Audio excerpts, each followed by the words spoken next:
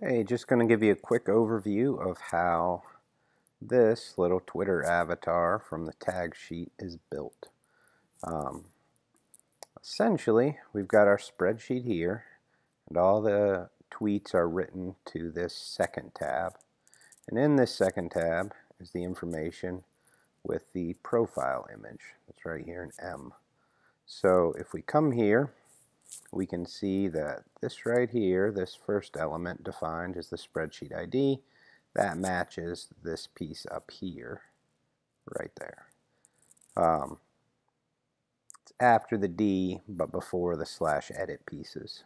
So that's where you get that ID from.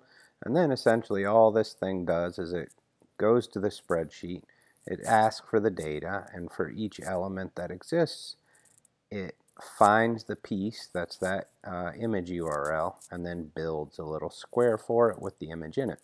And that's all there is to it.